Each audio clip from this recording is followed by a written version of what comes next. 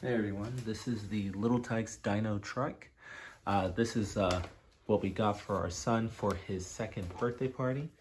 See it has um, a horn right here and right here the handlebars they can twist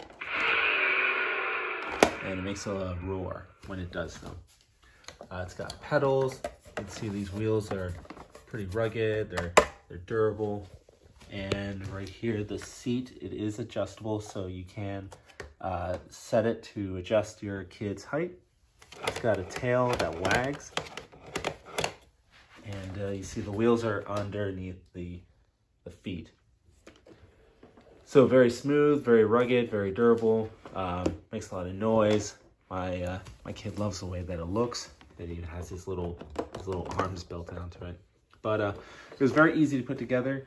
It um, it only had a couple, what I think, six screws on the bottom.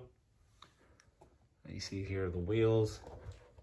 And then everything else is pretty much just snap on. Like these arms you just snapped on. Um, the tail it just snapped on. And then the batteries, uh, it takes three AAA batteries in the top here. And you see there are screws in the top. So very easy to put together. Uh, my kid has a lot of fun with it and a lot of a lot of interaction with it, especially for any child that's a dino lover.